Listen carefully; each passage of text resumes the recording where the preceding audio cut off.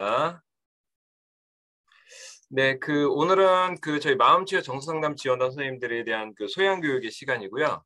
어, 저희 강사님을 좀 소개를 해드려야 되는데 그 제가 이제 뭐 단톡방상으로는 이제 말씀을 드렸지만 어, 송영호 선생님 내용이 화면에 좀 올라오고 있네요. 그 35년간 교직에 계시다가 어, 네, 퇴임을 하시고 이제 지금은 작가 겸 또 서울시교육청 생활교육 정책 자문관으로도 활동을 하고 계시고요. 또 수많은 저서들이 있으십니다. 조금 한 칸 내려가